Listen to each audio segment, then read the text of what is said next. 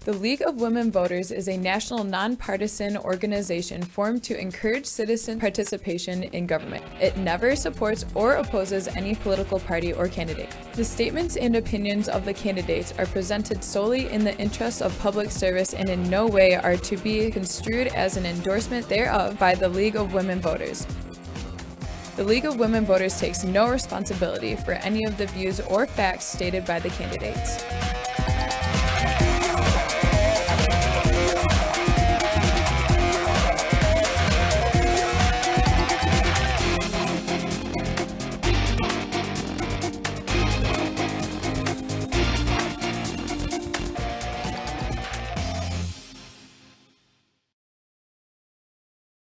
Good evening. Good evening, candidates and audience. Welcome to this forum for the State Senate 9th District and State Representative 55th District election. I am Carla Barrows Wiggins, a member of the League of Women Voters, Oakland area. I am not a resident of any of these districts. The League of Women Voters, a nonpartisan political organization, encourages informed and active participation in government works to increase understanding of major public policy issues and influences public policy through education and advocacy. It is the League's intention that following this forum, you will be informed and able to cast a responsible vote. Tonight, we will be introducing the candidates seeking election to the position of State Senate 9th District. This position is a four-year term with an annual salary of $71,685. The district includes the cities of Rochester, Rochester Hills, and Troy. We will also present the candidates competing for the position of State Representative 55th District. This position is a two-year term with an annual salary of $71,685. The district includes the cities of Rochester, Rochester Hills, and one precinct in Oakland Township. Views expressed at this forum are those of the candidates. The League does not take responsibility for these views. The format for this forum has been established by the League, and the candidates have signed a pledge to abide by the ground rules. We ask that the audience remain silent during the forum and turn off all cell phones. Following the opening statements, candidates will respond to questions from members of our audience. Questions can be directed to any or all of the candidates. Each candidate will have the opportunity to respond to any of the questions. Responses to questions will not be timed, but candidates have been asked to limit their answers to two minutes or less. Follow-up and rebuttal to questions will be allowed, but will be limited to 30 seconds. The order of who responds first will rotate. Questions and responses may only address issues that pertain to the position of the office the candidate is seeking. We ask you to please hold all applause until the conclusion of this program. We will now begin with the opening statements with State Senate Democrat candidate Padma Kuppa. Good evening, and thank you to the Oakland Area League of Women Voters and all of you in the audience. Uh, my name is Padma Kuppa. I'm currently the state representative for the House District 41, which includes and encompasses the cities of Troy and Clawson. I'm a mom, I'm a wife, and I'm an engineer. I worked in the automotive industry prior to coming to the legislature to serve. I am serving in my second term. I'm a longtime community volunteer and have been appointed to positions in the city of Troy, including Planning Commission. I've served on nonprofit boards. I've worked across uh, the spectrum from small business to automotive companies, and I look forward to responding to questions at this candidate forum where we will make our positions clear on what we would do for the uh, communities of Troy, Rochester, Rochester Hills, Western Sterling Heights, Utica, and a few precincts in Oakland and Shelby Townships. Thank you. Thank you. And now State Senate Republican candidate Michael Webber.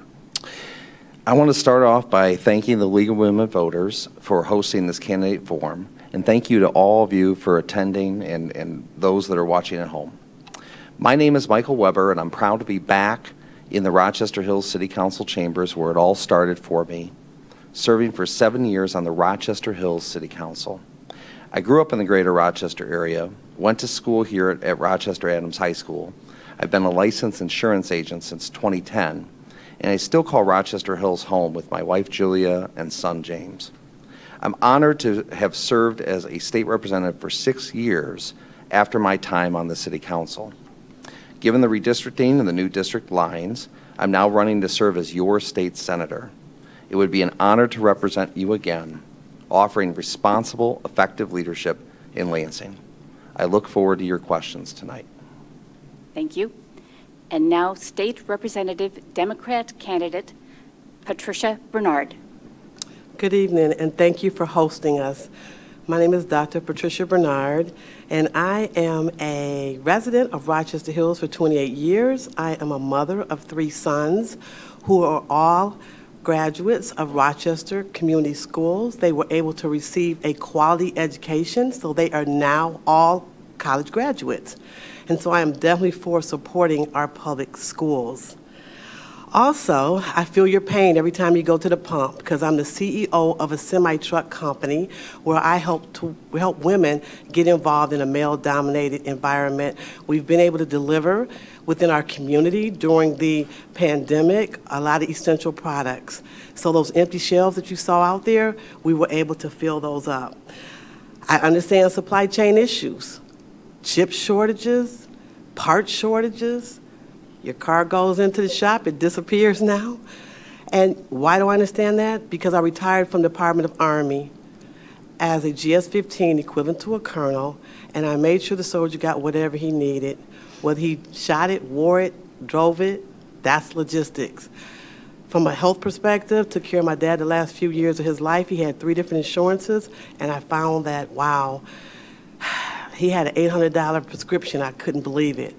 And last but not least, I am for our environment. I'm for making sure that we keep our air and our water clean and that we do not want to do any type of uh, drilling or anything within our community. Thank you. Thank you. And now, State Representative Republican candidate Mark Tisdel. Well, thank you, League of Women Voters, and for everyone coming out tonight. I've had the privilege of living, working, volunteering, raising a family, and being an elected official here in this city for, for 33 years total. For eight years, I served right here in this auditorium as an at-large member of the City Council, and four of those years as Council President. Now I'm asking to be reelected to the House of Representatives, where I've been named Legislator of the Year in both 2021 and 2022. I've had four pieces of legislation signed into law in just the first 19 months. I have a good working relationship with the school board, with Dr. Shaner, with the city councils, with Mayor Barnett, Mayor Bikson, and Supervisor Abbott. I'm asking for your vote and another term in our state capitol. Thank you. Thank you. Thank you, candidates. Now for our first question from the audience.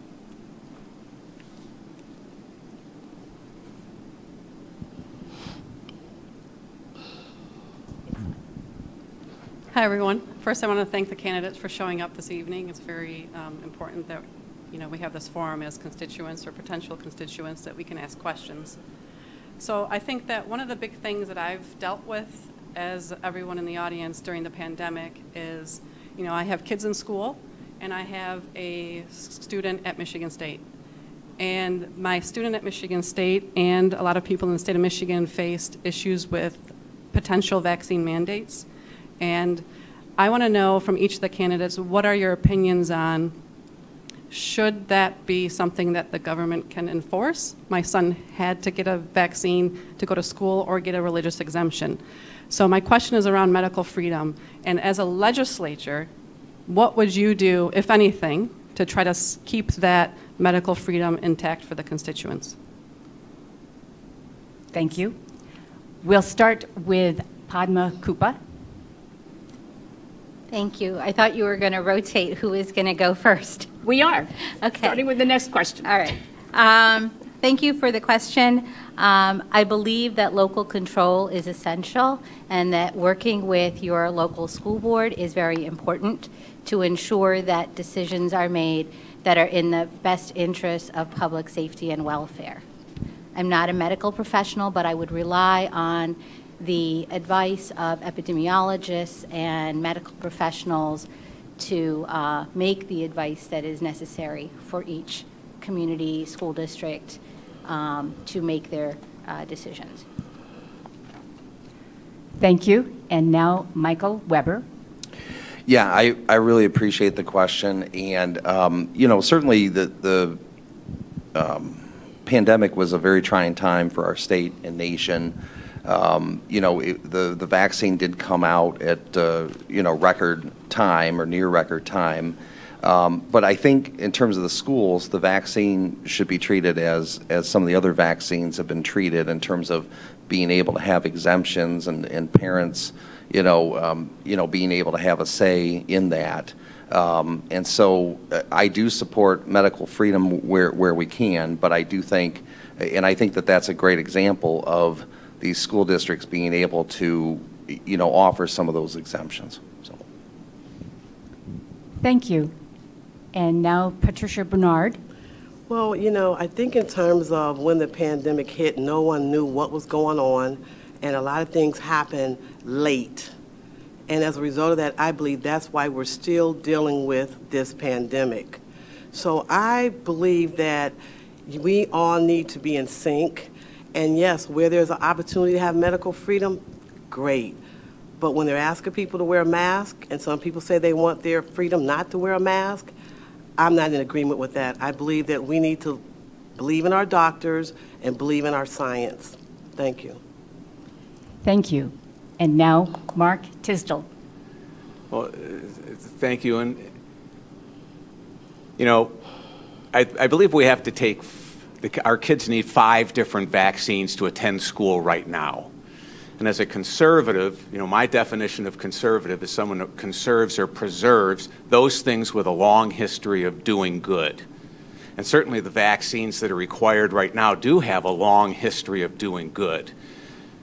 The COVID 19 vaccine that was brought to market in record time using a relatively, relatively new technology and brought to market under a, an emergency use authorization, typically those emergency use authorizations have given a lot more leeway to people relative to mandates and requirements.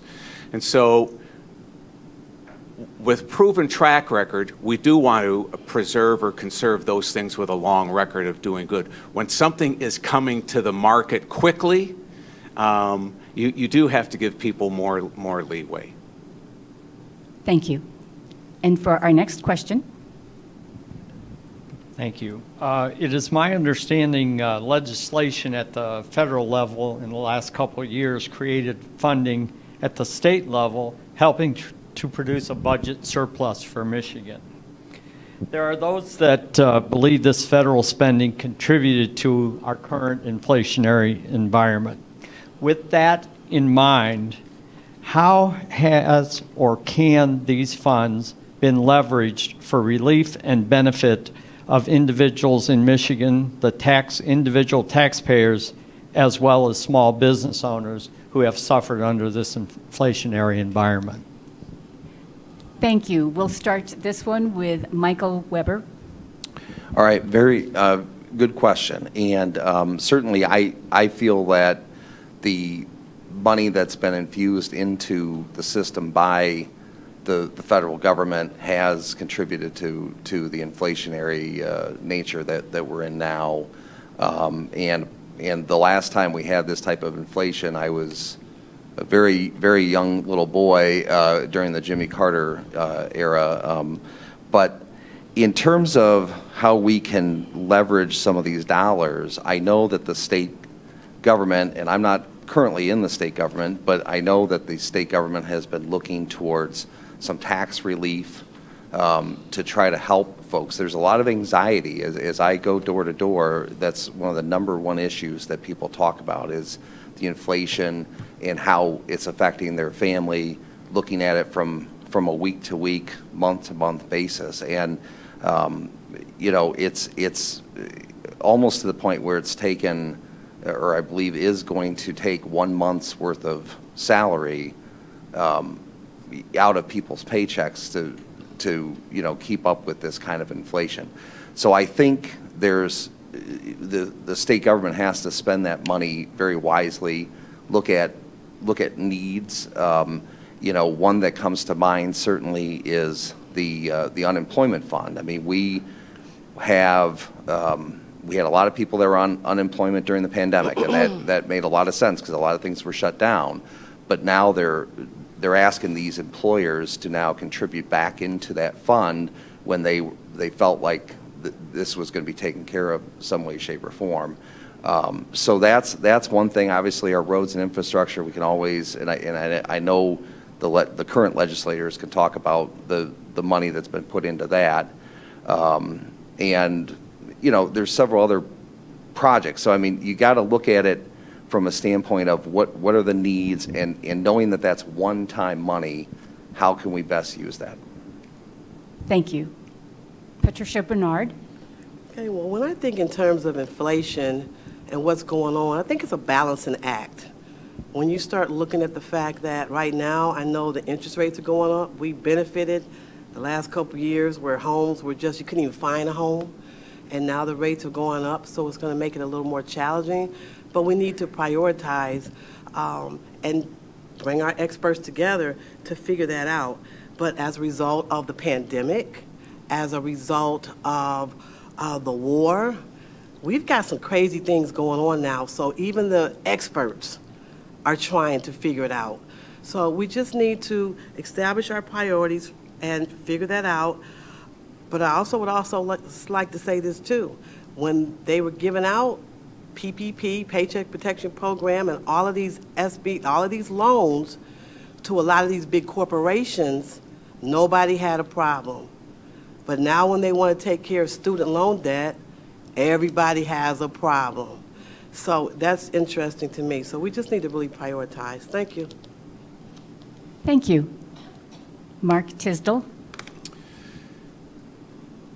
Yes, the, the, from 2008 to 2021, the Fed balance sheet went from $900 billion to $9 trillion. That's a tenfold increase in, in, in, in, in, a relatively short period of time. That's, that's inflationary. We have 300, or 3 million fewer workers participating in the workforce today than we did at the, at the beginning of the, of the uh, uh, pandemic. There are 4 million more people on Medicaid. All of those things are inflationary. Uh, the price of gasoline, no, no one needs to fill you in on that. Gasoline and, and, and fuel touch the price of everything that we put that we that, that we purchase and it has to be moved around at the state level we've we've using some of these federal dollars that have come back to us 2.6 billion of those dollars have been used to pay down debt. And that will have lasting results for for for decades. That will be interest that we won't be required to pay. We will be required to pay the interest on the trillions of dollars of debt that's been added and the trillions of dollars of relief that's come out, that's, that's all borrowed money, and we'll be servicing that debt for a long, long time. So you have to spend it on things that have a multi-year shelf life, not something that's going to be gone at the end of the month. And, and relative to PPP and, and comparing that to the, the, the relief or transfer of student loans, PPP was always designed to be forgiven if the majority of the money went to uh, the employees from the employer. That was always designed to be forgiven because it, it was helping to uh, uh, mitigate a, a government mandated uh, lockdown. Thank you. Padma Kuppa? Thank you. Um, I appreciate your question.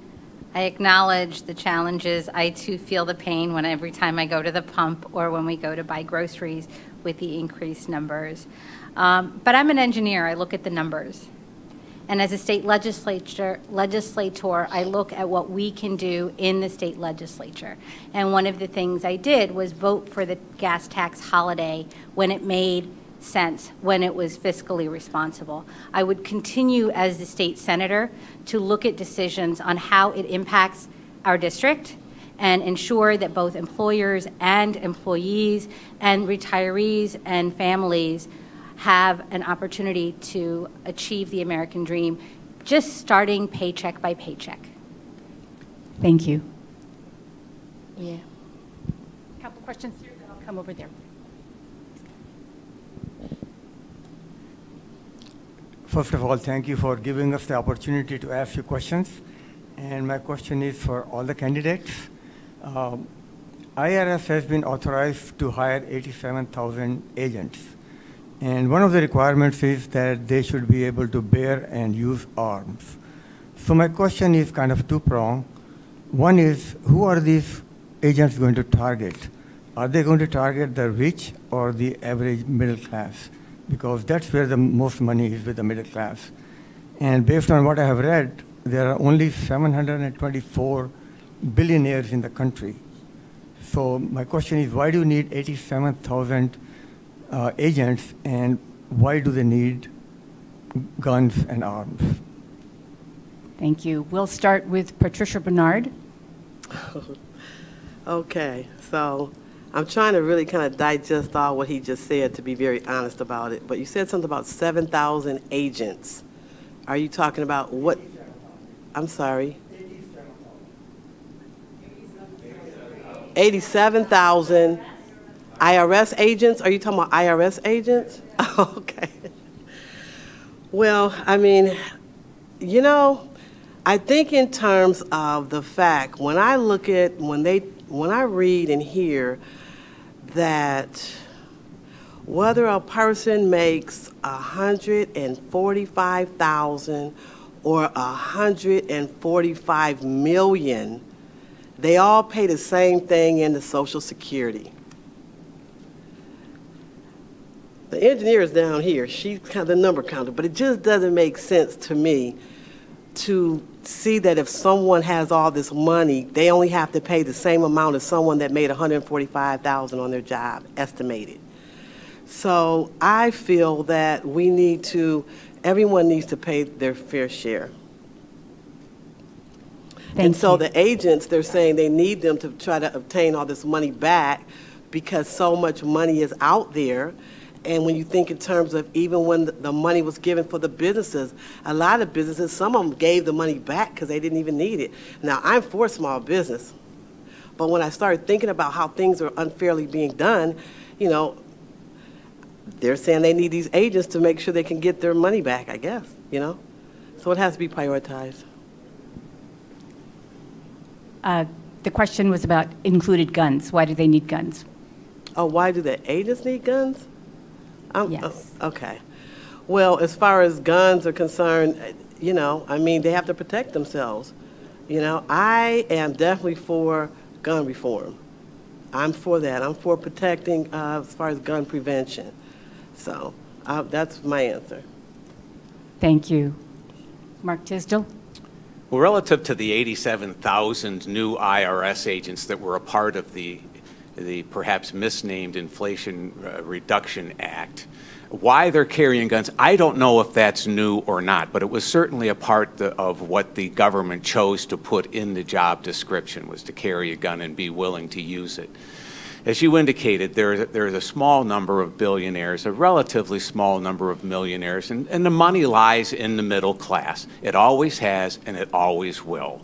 And so, so you, if you're going to go after uh, the money, if you, you got to go where the money is, and that's the middle class. And this is just a part of a behavior that's that's nothing new, uh, uh, you know, in the last two years. Remember when they wanted to start tracking or identifying every time you made a, a, a withdrawal as small as six hundred dollars, and that was to keep track of who's taking out cash, where's it going, you know, what's what's going on with it, who is doing this on a regular basis. But that was dropped.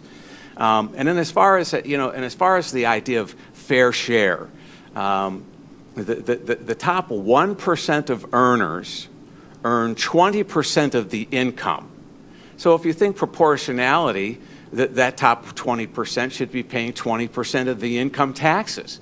But they pay 40%.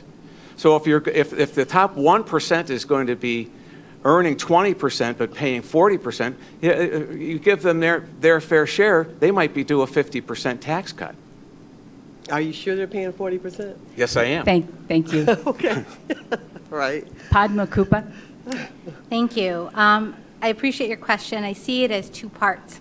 One um, about the IRS agents having guns. So I don't know what percentage of the IRS guns have uh, IRS agents have guns. So I don't know that I'm equipped because I'm a state legislator, and that is a federal level issue. As far as um, the getting the money back from unpaid taxes, I actually have a statistic here. The top 1% of earners or uh, earners, um, their share of unpaid taxes is $163 billion. So the top 1% of earners are not paying $163 billion in taxes. The top 5% of earners are not paying $307 billion. Um, and then the lowest 20% of earners actually owe less than 6 billion. So I think the challenge is to figure out where we should put our resources to figure out who we should get the money back from. Should we be looking to get the money back from the lowest 20% who only owe 6 billion or should we be looking to get the unpaid income taxes from the top 1% which is 163 billion. So that's I would look at it that way and then figure out how many people you needed to get that money back. It oftentimes is that people at the top are able to hire elite lawyers to fight the um, uh, the charges and and to keep not paying their taxes. And so I think that's that's really what where do you put your money to get which uh, return the most. Thank you. Michael Webber. Yeah, uh, I appreciate the question, although I, I do agree that it, it is obviously a federal issue. So, I mean, I don't know why we need 87,000 of them. I don't know why we, they need the, the guns necessarily. Um, I do believe that people should pay their fair share. There's no doubt about it. I do know several people that have gone through IRS audits, uh, businesses that go through IRS audits. It's not a fun experience, but usually it doesn't come with a gun or all these extra, you know, officers that uh, that are part of that federal, um, you know, bill. But um, it's it is concerning for a lot of people. I think there's this thought that they're they're potentially going to come after the middle class and come after you know some of the, and I think it just contributes to that anxiety. And I think that that's kind of where your question came from. Thank you. We'll take the next question. Uh, I want to ask uh, all the candidates to answer my question, and I'd like the format of your answer to be either yes or no, and then an explanation of why you said yes or no. And my question will only pertain to the Michigan income tax system and not the federal. And it's a question under fair taxation for health care expenses. Now, uh, many self employed people pay for their health insurance and uh, they pay with after tax dollars. And uh, in Michigan, uh, the UAW members and uh, a lot of other people, the employers pay for all their uh, health insurance and are they're very generous with low deductibles and out of pocket expense. So my question is, uh, and these uh, people don't have to pay any taxes on their health care expenses. So my question is, will you advocate for the uh, self-employed, the gig workers, and there's plenty of them, probably more today than before the pandemic. Will you advocate that they be allowed to subtract from their gross income their health care expenses especially health insurance, so they had subtracted from their gross income, and then whatever's left would be the net income, which the tax will be calculated on. Thank you. Thank you. We'll start with Mark Tisdel. Well, fair taxation relative to fair taxation relative to health care. You know, my wife and I have been, uh, my wife of 45 years, who's here this evening, we, we've been self-employed for al- almost 30 years. So we've paid retail for health care. We get exactly what you're talking about. There is a portion of the health care policy that individuals can deduct from their federal taxes, and I believe off of your off of your federal adjusted gross income is what your is what your state tax is based upon. And then there's a formula at the federal level, uh, you know, for how much of the expenses can be deducted or at what level does it start to have an impact on your adjusted gross. It's all these tax deductions uh, that that have distorted the cost of of health insurance over the years. It's all, all of the different subsidies and different deductions and credits and earnings that treat large employers uh, and medium-sized employers far differently than, than, it, than it treats uh, the self-employed. And again, we, we've, we've been there. We've had, we've had policies with $10, $10,000 deductibles for each of us. We've had, we, we've had policies that you just try not to use. But uh, I'd be more than happy to look into that further. But uh, as far as how, what your gross income is, that's very much a federal issue with federal rules. Thank you. Padma Kuppa. Thank you for your question. Um, I appreciate your bringing up the issues that gig workers and self employed and consultants face. It was something that I advocated for during the height of the pandemic when the CARES Act money was going to the businesses and not necessarily to gig workers and the self employed. Um, I would be happy to look into this further, but again, this is, um, this is a complicated issue, and I would be happy to take on um, the the um, most fiscally responsible way to support all who are working. Thank you. Michael Webber. Yeah, thank you for the question, Dr. Golden. And I know, obviously, you being in the medical profession, you're, uh, you, you certainly know. Um, I, I learned a lot from uh, Rep. Tisdel's question, and I also, we also purchase our own health insurance now, and, it, and it's certainly eye-opening. And so I would, I would, like Rep. Kuppa, I would certainly be willing to look look at that as as an issue. I mean, healthcare is one of the number one uh, issues in terms of cost and and the anxiety that that's bringing to. Uh, to different fa- to families uh, throughout Michigan and throughout the Ninth Senate District, um, and if we can do something from like a tax, you know, uh, standpoint, I, I'm certainly willing to look at it. Thank you. Patricia Bernard? Yes, I'm very much, I would be interested in researching that as well. Uh, I'm definitely for small businesses, and I do know that it's a struggle. A lot of people, especially with the pandemic, that has hurt a lot of people. So, yes, it's at the federal level, but it's definitely something that I would be interested in getting involved in.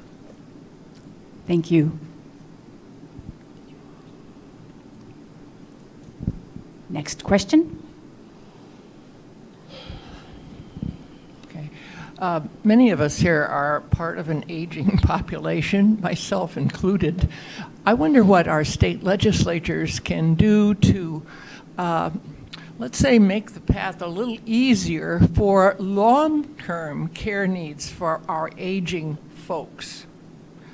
And I think this is a backyard issue, it's nothing at the federal level. Thank you. We start with Padma Kuppa. This is a question that I have been asking prior to my time in the legislature. Um, in 2017, 2018, before I came to the legislature, um, former state representative um, Jon Hoadley actually passed a bill to ensure that we would study what long term services and supports we had in place for the aging population here in the state of Michigan. When I came to the legislature, we were 22,000 care workers short. Today, we're over 35,000 care workers short. This is such an important issue that the report and the recommendations that were uh, made um, need to be implemented, need to be enacted. You can find it on the, the uh, government website, the state website. But in, in addition to that, and I've been sharing it with constituents so they too can advocate because I don't hold the gavel. I can't pass policy or set the agenda. But what we have been able to do is bring together a bipartisan group of legislators. I'm the co chair of the Legislative Care Caucus, and we work with stakeholder organizations, including AARP, Impart Alliance, um, which handles the challenges and professional it helps to professionalize caregiving so that both caregivers and care recipients, um, because people need to age with dignity. That's right. And I think it's really critical that we, it is not a partisan issue for me. This is a kitchen table issue and one that we, every one of us, is going to face at some point in time. Thank you for the question. Thank you. Michael Webber. Yeah, I, I really appreciate the question as well. In the Rochester area, we have a true gem in the Older Persons Commission building. And when I was on the city council um, in my early 30s, I served on that board for five years. And people said, "Gosh, you know, you're so young. Why you can't even, you know, use the services? Why why are you uh, on the board?" And I said, "Well, you know, my wife and I, we we were from the Rochester area. We grew up in the Rochester area, and we're going to grow old in the Rochester area, and we're going to want that Older Persons Commission uh, uh, to be." a part of our lives uh, some someday as well. And so um, I think, you know, as I talk to seniors, I think they, you know, there's a lot of anxiety about, um, you know, the, the care worker situation, obviously what we're, what we're paying on, a, on an hourly basis and, and that kind of thing. And I know that some of those some of that's gone up over over the years, but it's still not enough to attract people to, to stay in the profession and, and grow in the profession. Um, in addition, I know a, a lot of uh, seniors want, want to stay in their homes as long as they can. They want to have, you know, independence. They want to um, be, you know, still in their homes, still, you know, receiving their families uh, for holidays and this and that. And I think we should be able to help them as much as we can to do that. Um, obviously, going into uh, nursing facilities and different facilities are, are, costly, and, and, and people don't like them nearly as much as being independent. Thank you. Patricia Bernard. Long term care, that is definitely something that we really need to take a look at. My dad retired from the U.S. Air Force 20 years. He had three different insurances. He had Blue Cross, he had TRICARE, and he had Medicare. And still, he ran up against ceilings of what he could do and what he could not do. I was determined that I was going to take care of my dad and he would never have to go into a nursing facility. I was told one time by a social worker, she came and she said, You know what? The worst house in the world is better than being in a nursing facility. I said, Are you serious? She goes, Definitely. So people want to be with their loved ones. They want to be comfortable. I mean, I literally pay long-term care insurance myself currently because when I looked at the fact that how much, have you all looked into, it's thousands of dollars a month for long-term care. Is this how we treat our elderly? So I'm definitely for doing whatever we can to make sure that as we grow older, as we all grow older, this looks like a seasoned group here, that we can uh, grow older with dignity and be able to stay in our own homes and so on. Thank you. Thank you. Mark Tisdel. Yeah, I serve on the uh, uh, Families, Children, Seniors uh, Committee, and this is certainly one of the areas we've looked at relative to relative to um, in or resident care, long-term care for seniors. Uh, one of the things we need to look at is the licensing requirements, uh, the inspection requirements, uh, so that more small businesses, more home-based community-based, neighborhood-based uh, residences uh, and individuals can get into this this business with a, with a reasonable um, uh, you know amount of effort and, and oversight, and so that's that licensing, the inspection requirements for the smaller businesses. It's it's very similar to childcare. You know, kind of the the smaller neighborhood based childcare facilities face a lot of these very same problems. And often when you get into those, uh, we've been through it with my parents, my, my wife's uh, father, uh, uh her, her, grandparents. Often the, the smaller neighborhood based facilities uh, uh, are, are, are just provide better hands-on care, but we have to make it easier for those business people to get into the business and to, st- and to stay in business and, and eliminate many of the burdens that are maybe don't apply to them or are unnecessary for the smaller for the smaller homes. Thank you.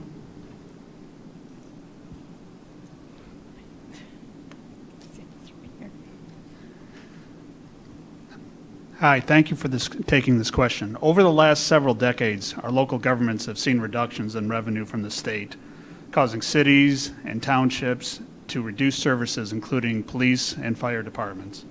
Do you agree, and what have you done or what will you do to ensure that the state fully funds local governments?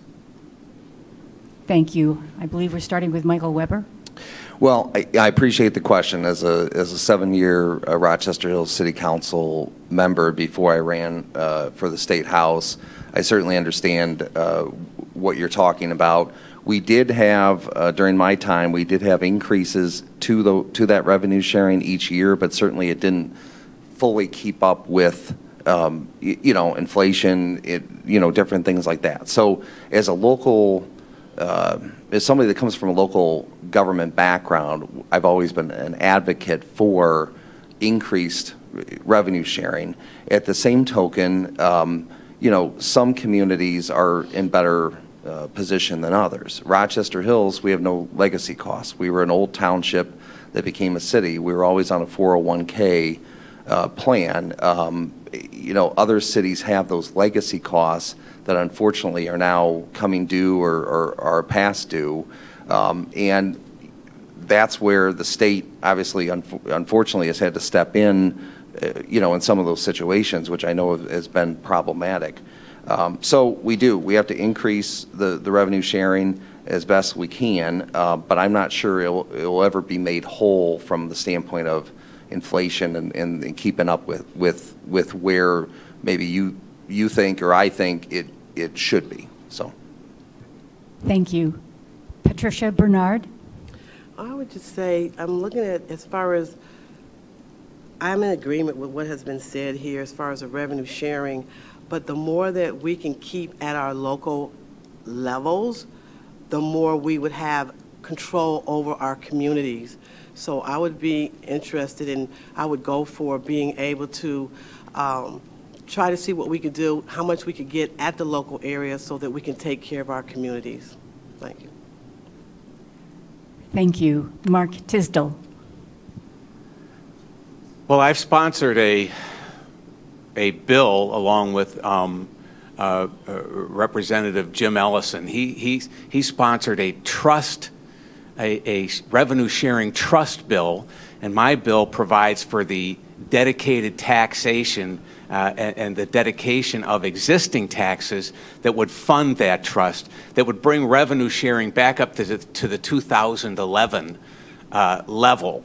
We're never going to get back to where we were because it, it's, it's, it, right now it's in, it, annually, the revenue, uh, uh local revenue sharing, uh, local government revenue sharing is a part of the appropriations process and it's used to, to balance the budget.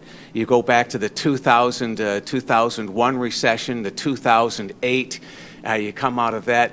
Um, uh, they were revenue sharing was lowered to balance the budget. It's never come back up. So we're just trying to get it back up to the 2011 uh, level, put dedicated funding into a trust that can only be used for revenue sharing, use the 1970s formula that, that, that, again, it's been around and recognized for half a century, and take it out of the appropriations process. And if you're ever going to adjust it, you make it a vote of, uh, on the floor of both the House and the Senate. Get it out of just appropriations. Thank you. Padma Kuppa. Thank you for that question. Um, there's a really important website. If any of you have time, save my cities.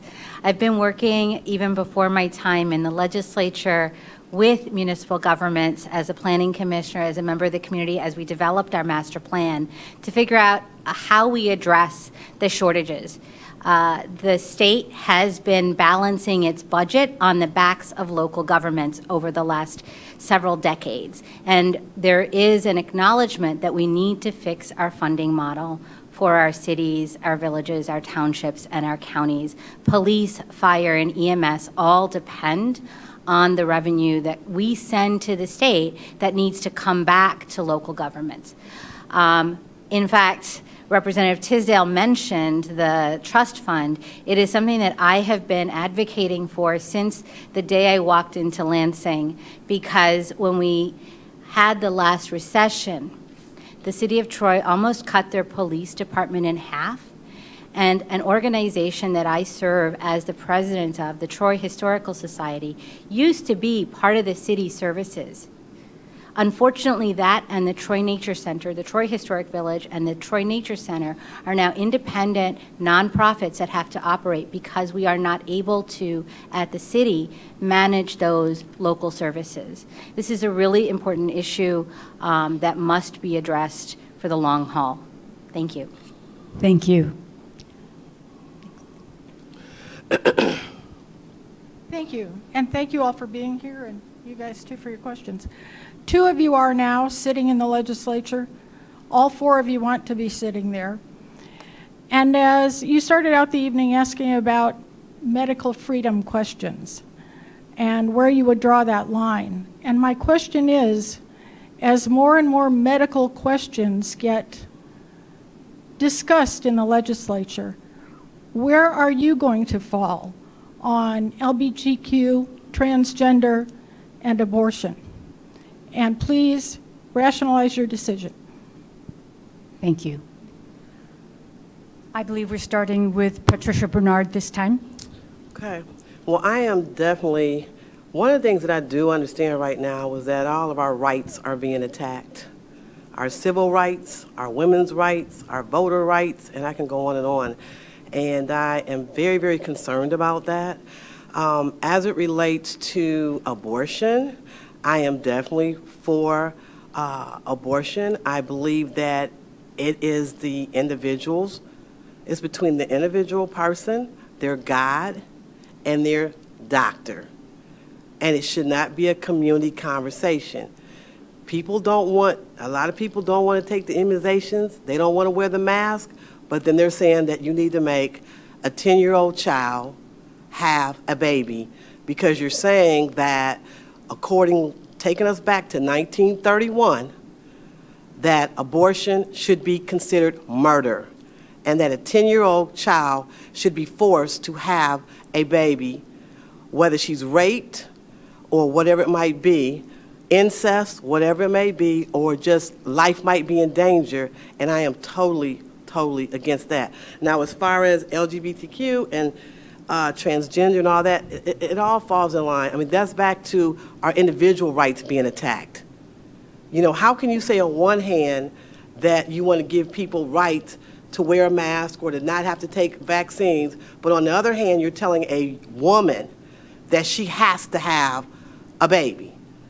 It doesn't make sense to me. Thank you.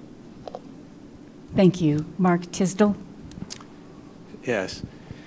Relative to abortion, I'm, I'm, I'm pro-life. I've been endorsed by Right to Life uh, uh, the last election and this election. And as I said in the, in, in the last candidate forum, until we figure out, until both sides of the aisle can figure out what is the fetus, when is the fetus deserving of the fundamental constitutional rights in the first eight amendments, until we can figure that out, there's going to be a divide. And there's going to, there's going to be everything from life is precious from the, from the moment of conception to uh, uh, uh, abortion is, is fine on demand up until the, the, the, the, the fetus or the baby leaves the birth canal. So until we, until, we, until we make that decision, what is the fetus and when is it, when is it deserving of those constitutional rights? Um, this is going to be this is going to be a contested issue. LGBTQ, individual rights. Every individual has the right to be who they are, and uh, I I don't know. I don't know that people are being rejected for uh, expressing who they are.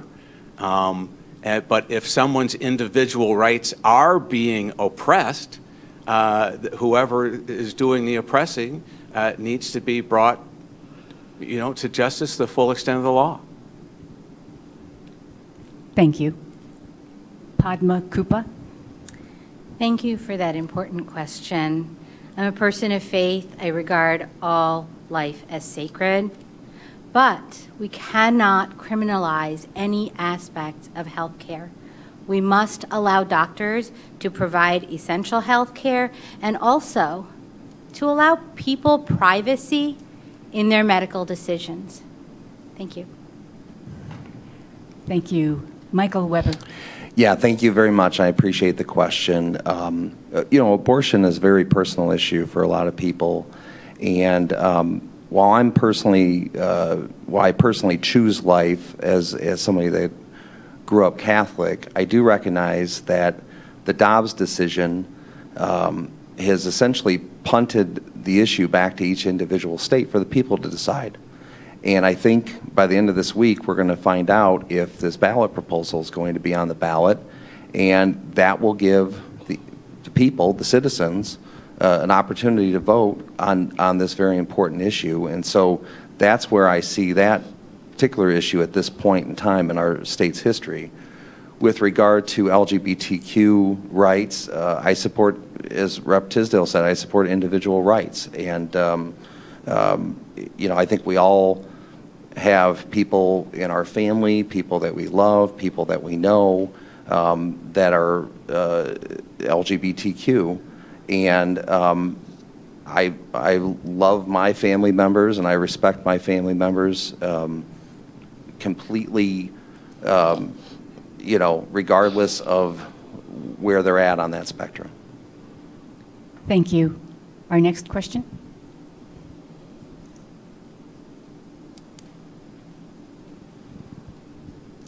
What measures have you taken or will you take to prevent gun violence.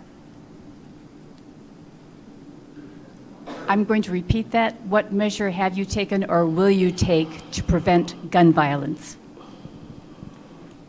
Uh, we're going to start with Mark Tisdel, I believe.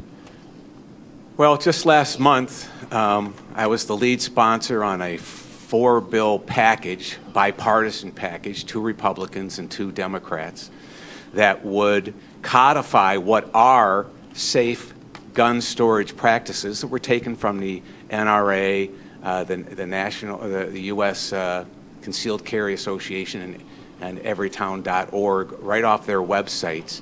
But we would codify that into law. And, and what two of the bills would do is if you follow these rules, you follow these best practices, and, and your gun ends up in the hands of a criminal and, and causes damage, injury, or death, the state gives you a positive defense, a criminal shield, or a civil liability shield. Again, if, if, you, if you follow those best practices. The, the, the, other two parts of the bill recognize that in order to follow those best practices, uh, you might have to purchase some hardware a gun safe, a handgun safe, trigger locks, a vault for your long rifles. Uh, there's up to a $350 a year tax credit that would offset that expense that you would incur to comply. Uh, there's also a $350 tax credit available for training. We want you to be trained. We want you to understand gun safety and storage and ammunition and what rights you have to defend yourself and, and, and, that you don't. So there's, there's a tax credit, $350 tax credit available for training.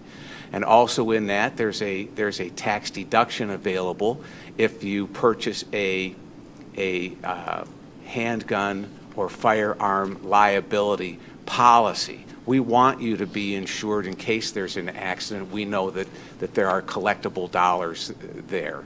So, yeah, ours is the only uh, ours is the only bipartisan package of bills that's been introduced, and uh, you know, I'm I'm very proud of that.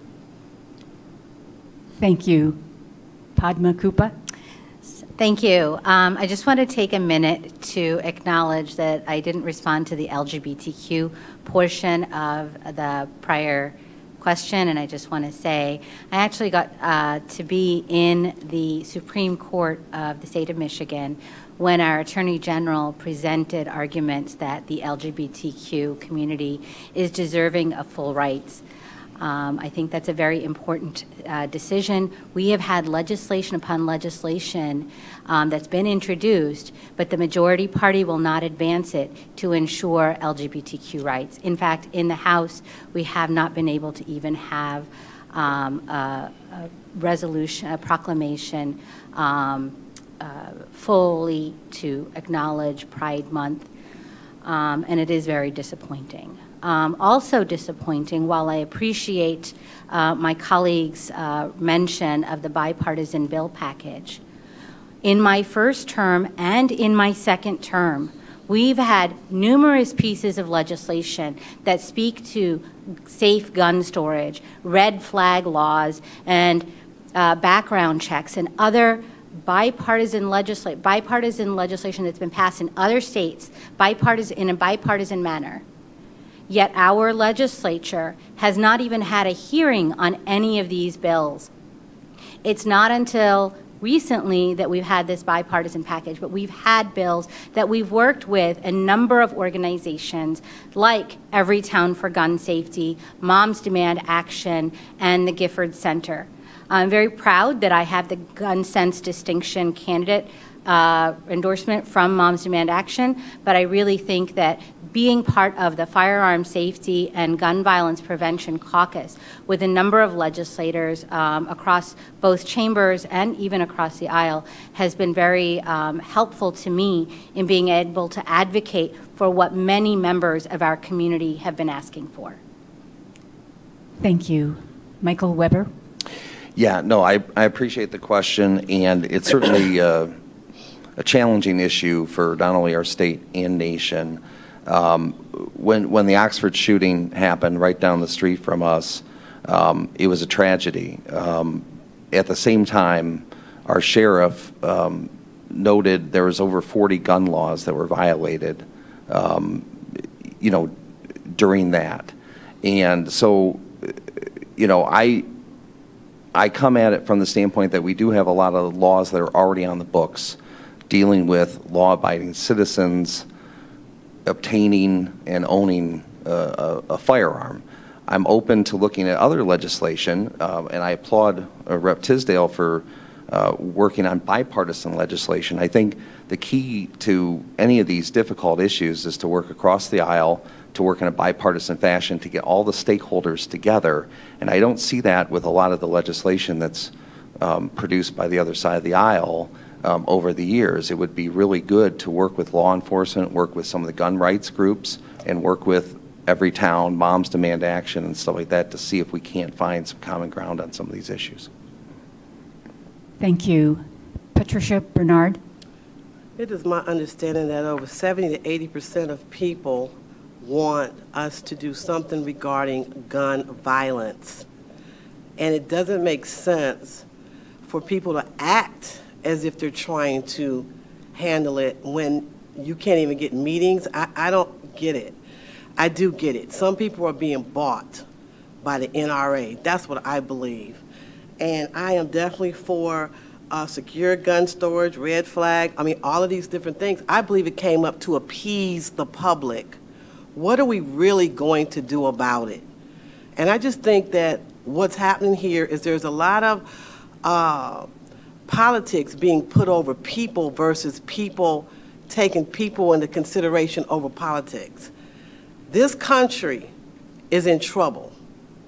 We're acting worse than a third world country right now when it comes to gun violence. AR 15s, they need to be banned. Now, I work for the Department of Army.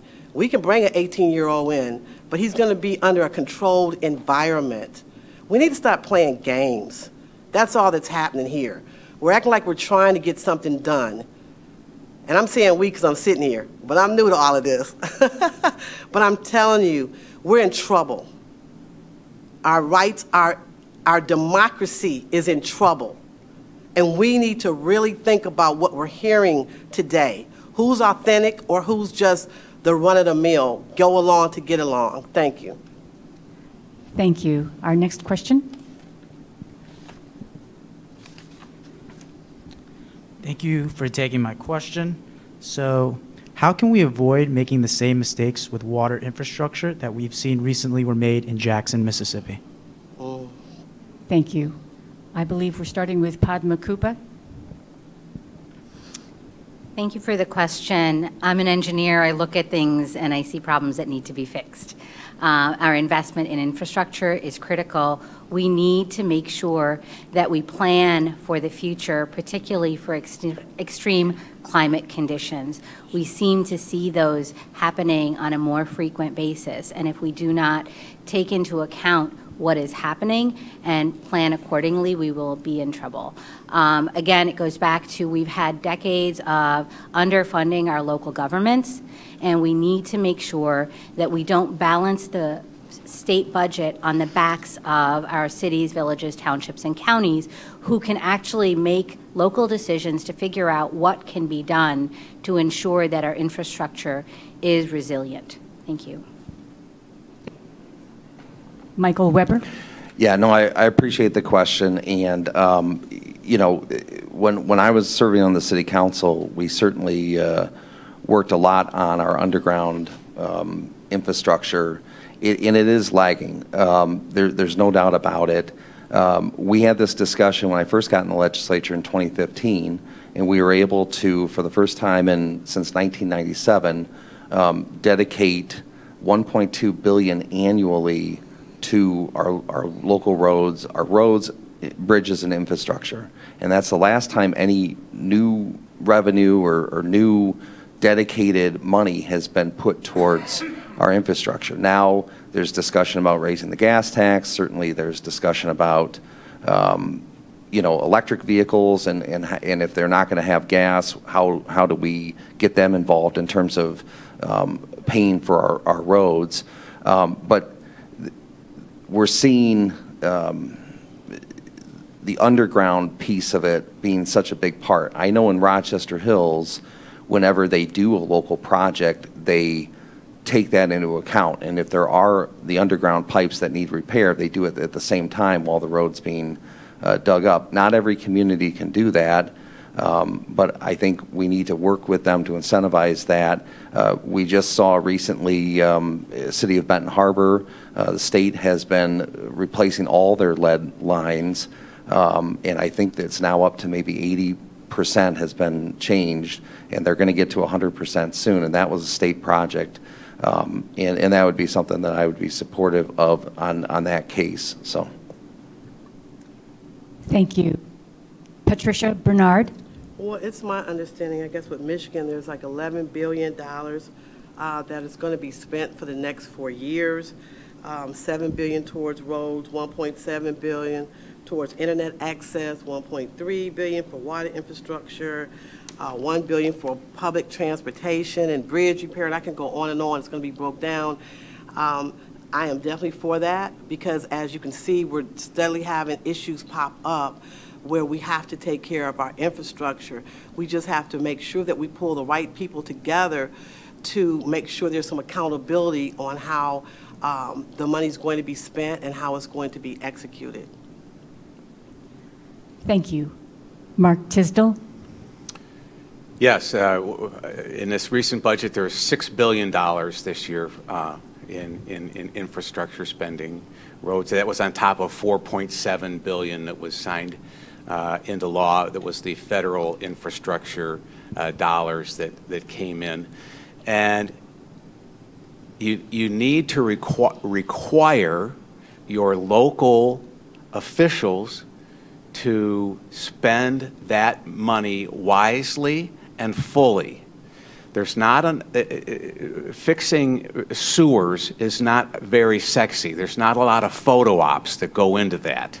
Uh, Rochester Hills, we're very fortunate here, and the city of Rochester, um, but we're, we're very fortunate in that we have fully invested in our infrastructure system during the last uh, uh, boil water alert. We have a, a, a, computerized system with sensors all throughout our water, our, our, our water infrastructure. Uh, we had no drop in pressure that would have allowed a backflow of contaminated water into our system. We're very fortunate to have that kind of thing here in Rochester Hills, and we've dedicated the money to and the effort and the political will to get that done. But that's not the case in all cities. It has to start at the ground level with residents, with citizens, requiring their local communities, counties, and states to take this seriously and to fully fund these projects. Thank you. Got everybody right? Next question. Oh, sorry. Thanks for giving me the opportunity. Uh, I know you all care about everyone's rights.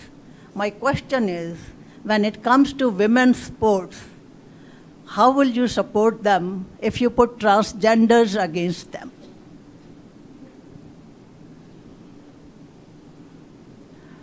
I believe we're starting with Michael Webber this time.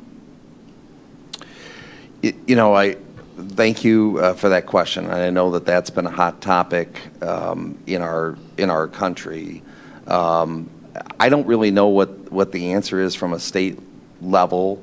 Um, I think at the local levels, these these school districts um, certainly, when you get to uh, college level, it's it's athletic.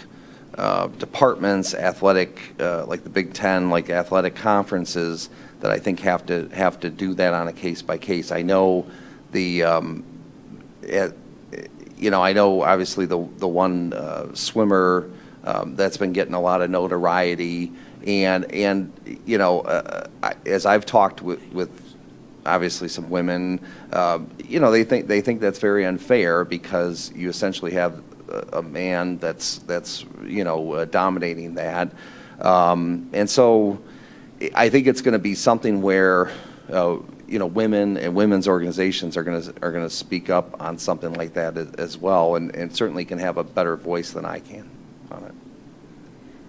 Thank you, Patricia Bernard. Well, I just think that with everything else, you know, there's new things, there's new issues that come about, and it just needs to be research. And there may have to be more research as to is there a real difference? Can there be a difference when it comes to the sports? And I would just go along with the research and the results of that.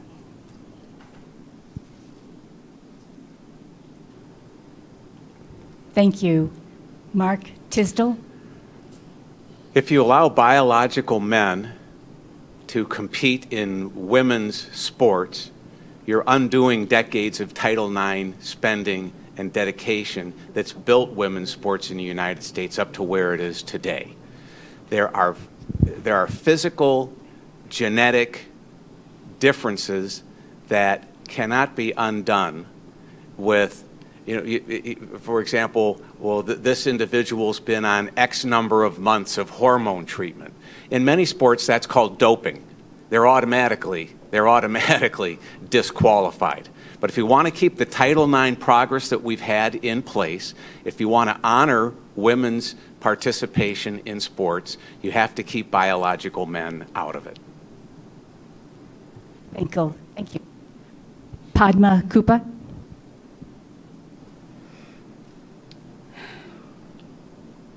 Um, this is a really important question as well. Um, I really want to talk about Title IX since my colleague brought it up. Title IX is a federal civil rights law in the United States that was enacted in 1972 as part of the Education Amendments.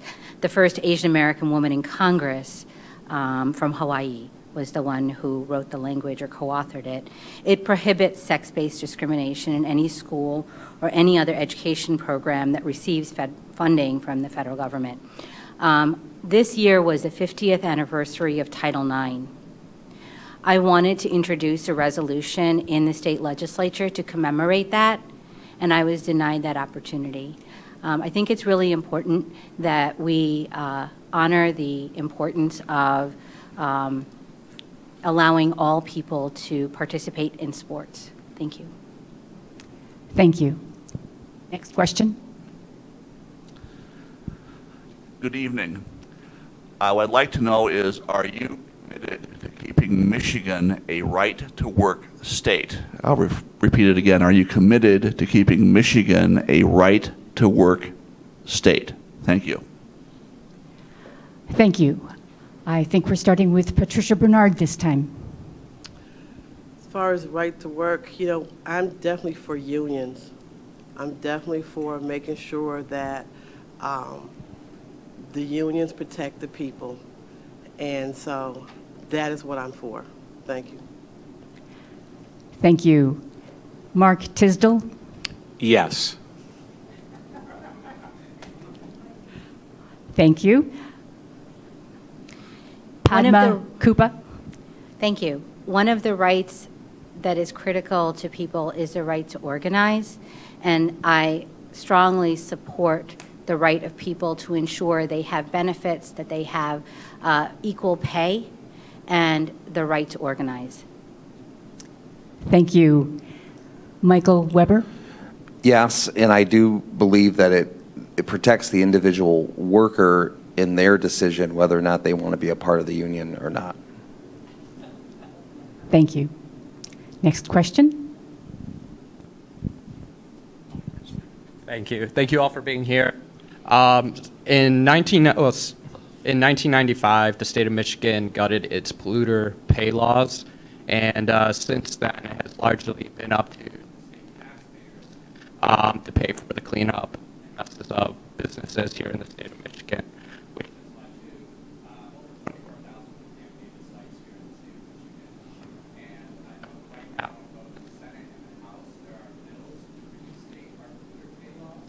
um, here in the state of Michigan. So I would love to hear some responses um, or, or, no support to um, reinstating polluter pay laws here. Thank you. Are we with you, Mark? I think so. Mark. Yes.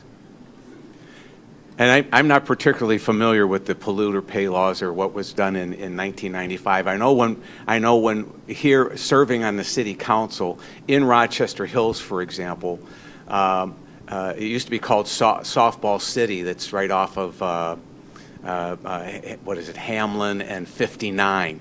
There's a hundred plus acres there of what was illegal dump, and it, it wasn't our it wasn't our chemicals and trash being dumped there. It was it was it was uh, uh, coming out of Wayne County and back in the day in the 50s and 60s and dumping these those things out here.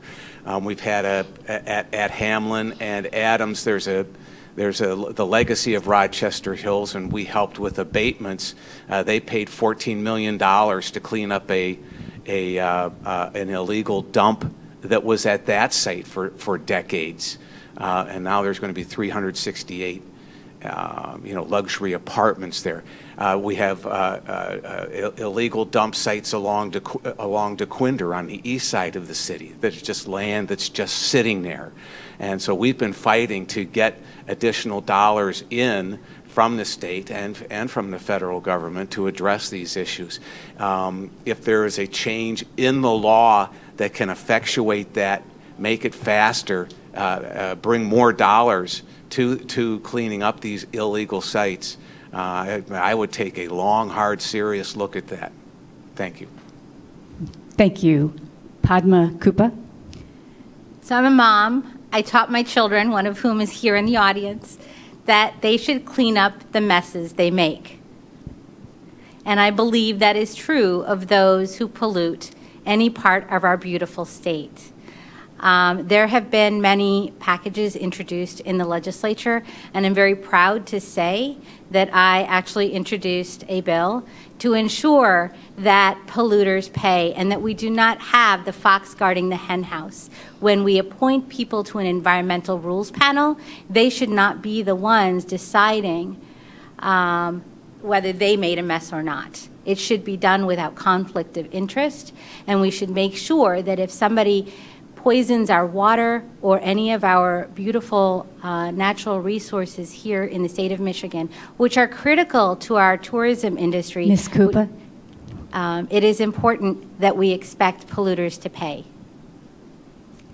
Michael Webber? Thank you. I appreciate the question. And, you know, I, I do have to admit, I'm not familiar with the 1995 polluter pay laws, but I will go back to uh, what Rep. Tisdel talked about.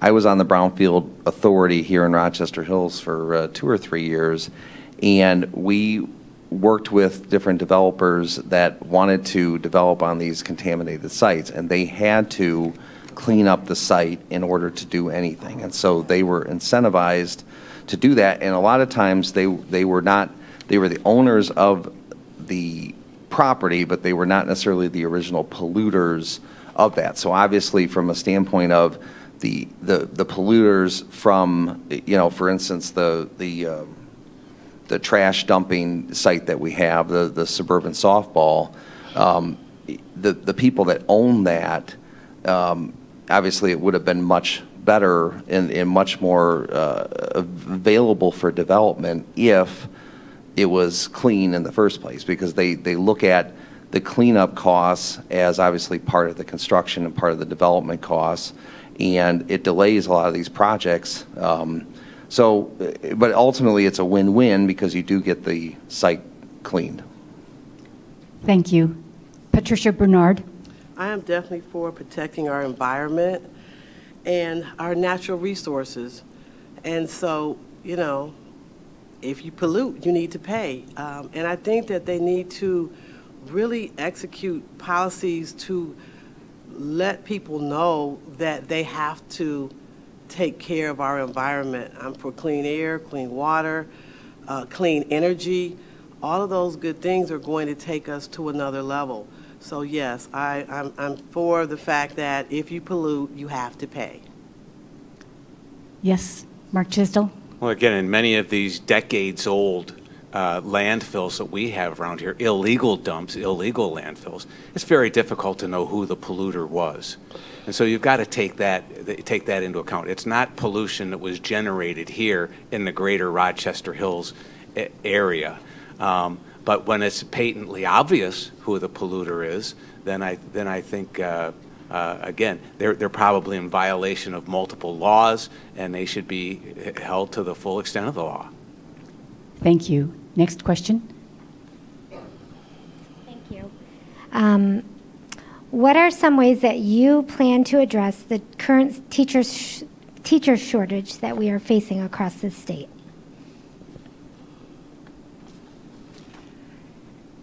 Hello. I think we're starting with you, Padma Kuppa. Thank you. Um, I appreciate the question because we have a shortage of a lot of things, including bus drivers. Um, I think one of the ways that we ensure uh, that we have enough educators is by incentivizing them to go, people to go into that profession. Just as we incentivize companies to come to Michigan to employ people, we need to incentivize people to go into the teaching profession. We need to respect and value our educators. Both my parents are educators, they're retired now.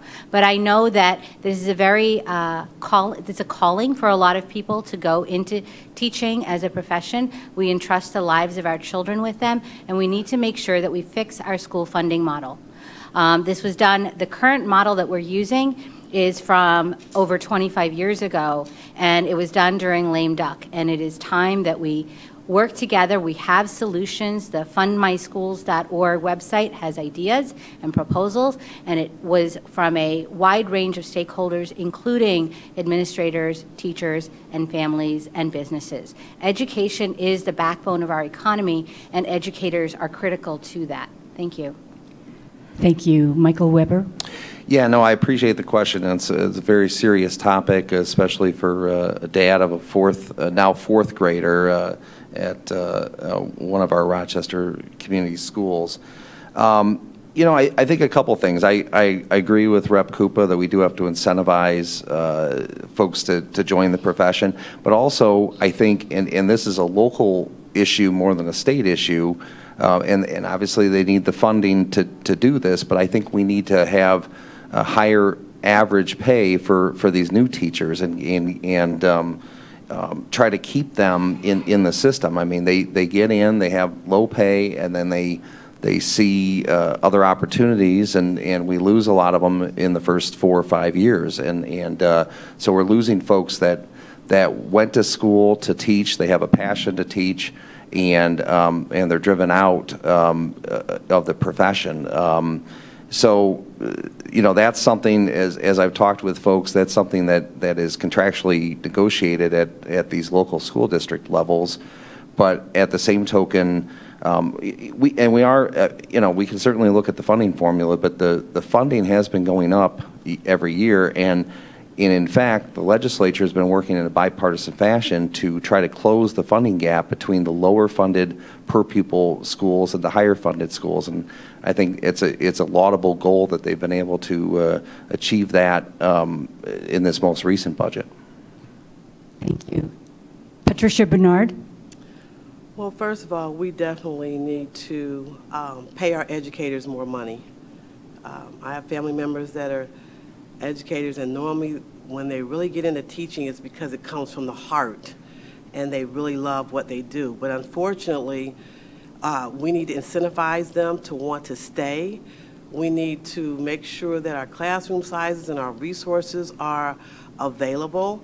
We need to make sure that we keep our public schools fully funded, that we do not take funds from our public schools to pay for private schools.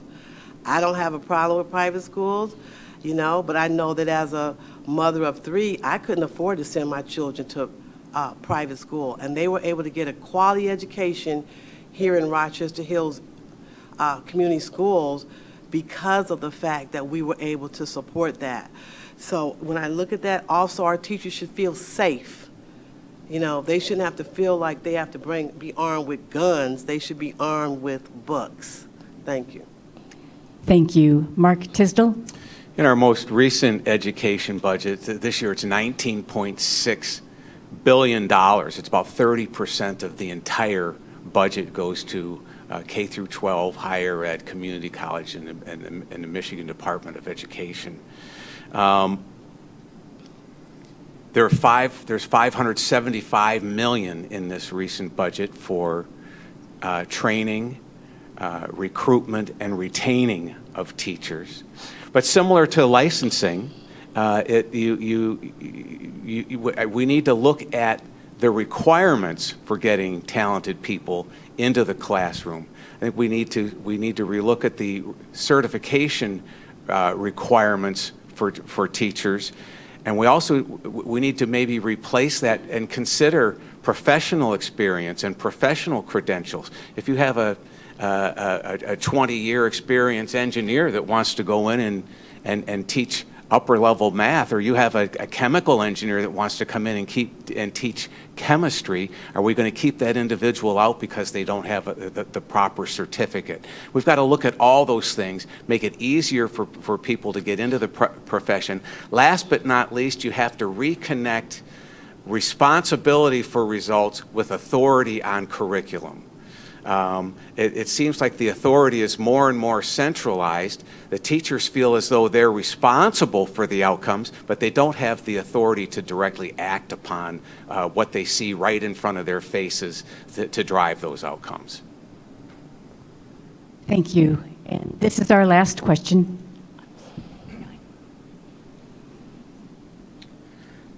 Um, thank you for coming tonight. Uh, I guess I would like to start with uh, Michael Webber on this one, um, but if you could all answer it. Uh, yes or no, do you agree with the recent Michigan Court of Appeals decision that no fault reform should not apply to survivors injured prior to the signing of PA 21? And I do have one follow up.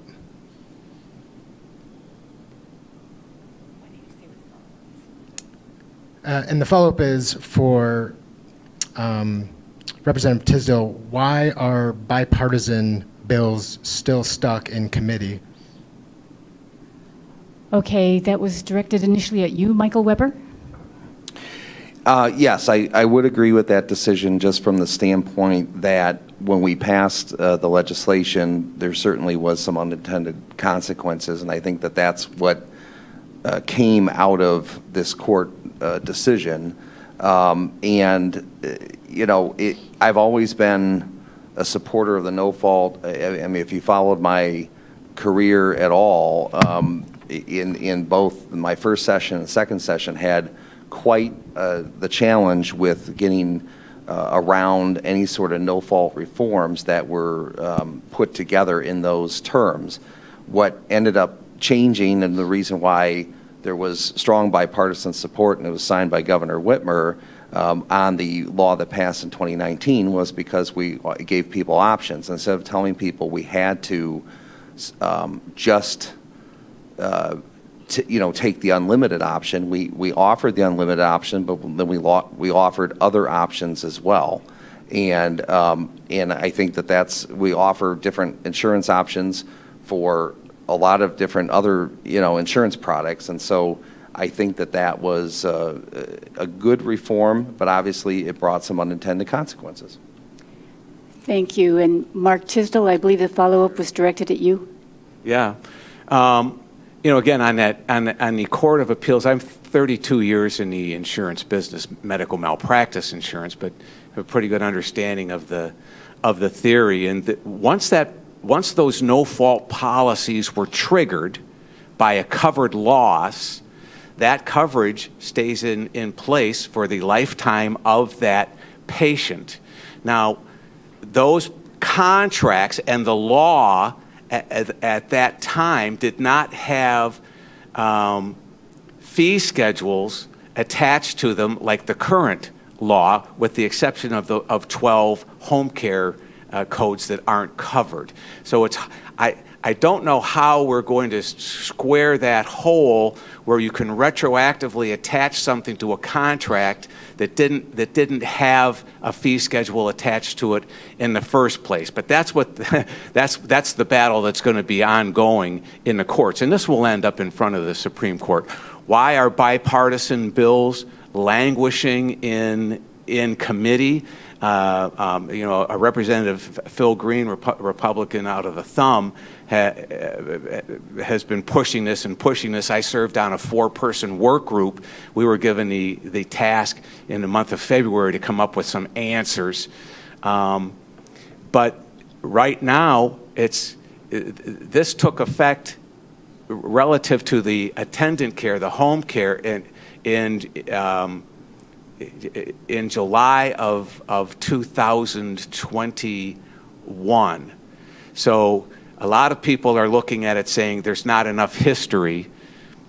You know, uh, the other thing that's qu quite frankly uh, an issue in this is it, it, it, it, it really falls on the backs of 6,700 Michiganders that are spread all over the state. And there's just not a lot of political oomph there, so to speak. Mr. But, Tisdel? But, um, so, yeah, it's more time. It's, it's a lack of, of, of political power. And sooner or later, it is going to have to be addressed. And this, is, it's, it, this, this issue is going to end up in the Supreme Court. Patricia Bernard, do you want to respond to that, or Padma Kuppa? Thank you. Um, in March of 2021, um, now Senator, then Representative Doug Wozniak, introduced a bill, House Bill 4486, in addition to the one that Representative Tisdel mentioned from Phil Green. I am a co-sponsor of both those bills. In addition, and that what that would do would be to amend uh, the Public Act that we passed in 20, uh, the overhaul of auto no fault, but it would have uh, amended uh, section of the law that would ensure and revise the reimbursement provisions for rehabilitation clinics for medical treatment. Um, and then I really want to uh, draw attention to uh, the protectautonofault.org website, there was a bicameral group of 73 legislators. We so- signed a memo in support of a bipartisan amicus brief filed by um, Representative Julie Brixie and the late Andrea Schroeder. And it brings tears because Andrea is gone. She worked so hard to try to bring us all together. And that bill, those two bills are languishing in the insurance committee. And there are members of the, the legislature who could have taken them up. But again, I'm a member of the Democratic minority. We have not been able to get, even with Republican support, we have not been able to get those uh, bills moved. I have crossed into the chamber with people in wheelchairs who are begging for us to take those bills up. Those people in wheelchairs were pushed by our safety security officers out of the speaker's office when they went to advocate. And it, it is it is very um, di- disappointing to say the least that we are not seeing any action um, on any of this because it's so harmful to those who are vulnerable. Thank you for bringing that up. Thank you. Everybody good? Okay. Thank you, candidates and audience. We will now begin our, begin our closing statements. The candidates will have 30 seconds to make a closing statement. Uh, The order for speaking for this segment will be in the reverse order of the opening statements. We will begin with the State Representative Republican candidate, Mark Tisdel. Well, learning loss, family business losses, inflation, soaring fuel costs, and the disaster that closing line five would bring to that, the unemployment insurance mess, and three vetoes of personal tax relief. Fighting to fix these issues is why the Michigan uh, Restaurant and Lodging Association and the Small Business Association of Michigan each named me their legislator of the year in 2021 2022, respectively. I'm asking your vote. Please send me back to Lansing. My work there has just begun. Thank you. Thank you. State Representative Democrat candidate Patricia Bernard. I truly believe, after working for the Department of Army for 34 years, retiring as a GS-15, knowing what go, goes on with secret documents and everything else, our democracy is at attack. And I believe that we need to all wake up, those that are not in, tuned in, to understand that. So I am willing to fight for women's reproductive rights, individual rights, civil rights, making sure that our public schools are maintained to be quality, uh, and not take money from our public schools to fund private schools for profit. I am for making sure that small businesses get what they need, gun violence reduction, and, and all. So I am for putting people over politics. Ms. Bernard. Thank you. State Senate Republican candidate Michael Webber. Again, I want to thank the League of Women Voters for hosting this forum. You can learn more about me at www.electwebber.com. During my time on the City Council as a state representative and in the private sector, I have worked with others to get things done. We need to send a leader to Lansing who can be effective and work with others to get our state back on track. I'm Michael Webber, and I humbly ask for your vote on November 8th or via absentee ballot. Thank you. State Senate Democrat candidate Padma Kuppa. Thank you very much to the League of Women Voters, um, Oakland area for hosting this, to all of you for asking tough questions, and also for attending and hearing our responses. I'm Padma Kuppa. I'm the candidate for State Senate District 9. You can learn more about me and my positions at electpadmakuppa.com. Um, also, check my state legislative history at, at my uh, website there. Uh, my legislative agenda is defined by my community outreach, which began decades before my time in the legislature. As a representative, my legislative team and I have organized. Decades, uh, hundreds of events, and attended hundred. I've attended hundreds of events, and I believe that I stay abreast of my constituents' concerns Ms. by Kuppa? engaging with people in the community. I look forward to receiving your vote and your support in the upcoming election on November 8th. Thank you. Thank you very much for hosting us. Thank you. The League appreciates all candidates and members of the audience for participating in this program. We would like to thank the City of Rochester Hills for making this forum possible and Jason Dale for all his help. It will be rebroadcast daily on Rochester Hills channels WOW Channel 10, Comcast Channel 20, and AT&T Channel 99 at both 7:30 a.m. and 5:30 p.m. It will also be available on demand on the city's website, rochesterhills.org, and the League's website, lwvoa.org. The League has prepared a voter guide for the upcoming general election, which is also online at website vote411.org. By simply typing in your address, you can view the biographical information as well as responses to questions asked of all candidates that will be on your ballot. We hope this candidates forum has been beneficial and will help you cast an informed vote. Please remember to vote on Tuesday, November 8th. Thank you.